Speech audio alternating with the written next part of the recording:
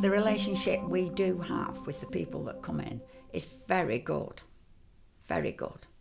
Mm. I've, I've, I've no, I've no fear of them not trusting them at all. No, none at all. She's lovely, and she makes him laugh. Oh, if you heard her, she makes him laugh, and, and, and that is what keeps him going. It really does, because she's wonderful. She is. There's one carer, she is absolutely brilliant, always reliable. Um, the kind of the relationship that I have with her, she um,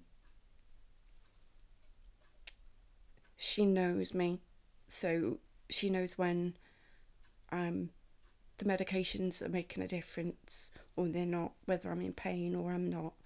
Um, sometimes she knows before me. Um, you know, she she always makes me laugh and smile.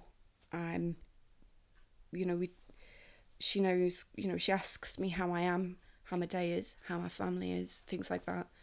Um, you know, but she also retains a professionalism about her, which um, which I find kind of really helpful. She can be stubborn, my mum, and with the dementia, she can get angry.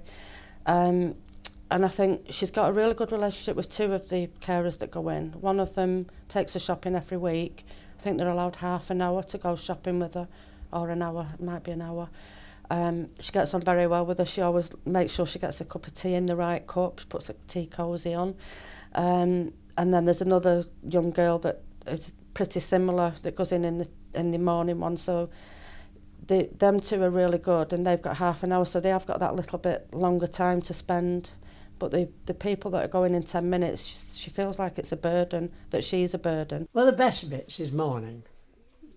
Because um, she's, um, she can be a little bit awkward at morning, you know, but um, they're very good. They get her in there and um, do a good wash down, you know, body wash, etc. And um, it's just like everybody's singing when they're in there to keep her going, you know and we're on the same wavelength. We've got the same sense of humour, so we have a good laugh when we're out. And she, and she's one that knows instinctively when to butt in and when to leave me alone. You know, um, some will sit back and wait for me to ask, and I'm not very good at that. I have to say. So I'll I'll sort of try and do it rather than sort of say, you know, I don't think I can do that with you. Um, but no, that, that part of it has been good.